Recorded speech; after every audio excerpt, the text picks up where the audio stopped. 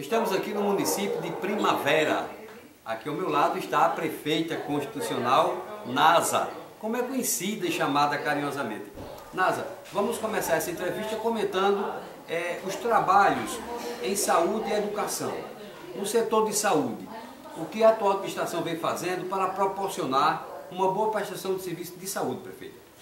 Olha, dentro da medida do possível, a gente vem procurando realmente, o nosso município é um município que não tem um bom hospital, nós só temos só funcionando com o PSF, mas dentro do possível a gente sempre atendendo as pessoas, como agora compramos uma ambulância com recurso próprio, o recurso próprio da ambulância, médico, temos médico também na medicação, dentro do possível, mesmo com a verba que está vindo muito pouca, mas o município, a prefeitura sempre ajudando para ver se conseguimos um melhor, um melhor atendimento. Por falar em médico, Nasa, é, o governo federal lançou o programa Mais Médicos.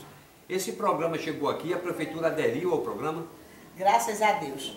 Ele chegou aqui, nós temos dois médicos, excelentes médicos, que nós chamamos os cubanos. Então a doutora a Alessandra e o doutor Alexandre. É, então ele é um médico, atende muito bem, capacitado, à altura que um, um, município pode dizer assim, eu tenho um médico cubano. Muito bem, prefeita. É, nos casos de média e alta complexidade, a prefeitura garante a remoção desses enfermos para os centros mais avançados? Com certeza. Temos também o carro do SAMU, para fazer os socorros, e temos as duas ambulâncias, que não é suficiente, mas sempre quando aparece qualquer coisa de mais que não tem no médico, eles levam para a escada e a escada encaminha para os outros hospitais do centro de Recife. É, não, não desmerecendo, claro, as outras áreas, os outros setores da administração pública, a gente sempre pergunta sobre saúde e educação, que são as duas que realmente merecem especial atenção. No caso da educação, é, merenda escolar, transporte de estudantes, enfim, é, valorização do magistério. Como a prefeitura vem atuando nesse setor, prefeito?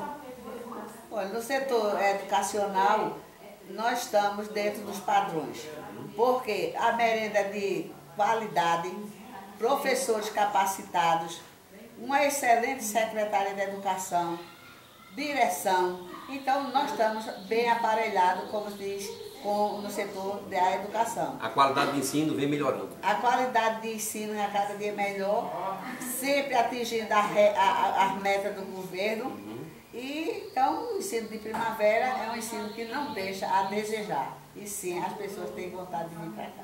Prefeita Nasa, com relação à Câmara de Vereadores, como é que está o relacionamento aqui em primavera? Existe harmonia?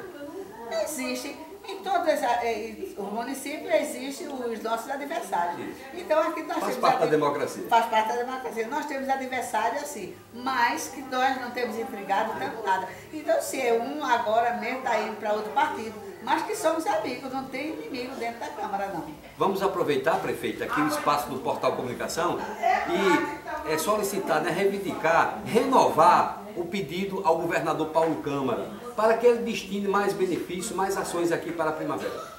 Olha, o que nós temos a pedir ao nosso, ao nosso governador é que ele realmente, como ele veio aqui no dia 23 de julho do mês passado, e ele comprometeu-se com a população primaverense de, de fazer o, a pavimentação da usina União com alargamento da ponte e até a Cachoeira de, do Urubu. E também dito em praça porque que a Cachoeira do Urubu, que hoje pertence ao Estado, vai voltar para o município. Então esse é um pedido de, como prefeita e todos os municípios que pedem a isso a ele, com a Marcelo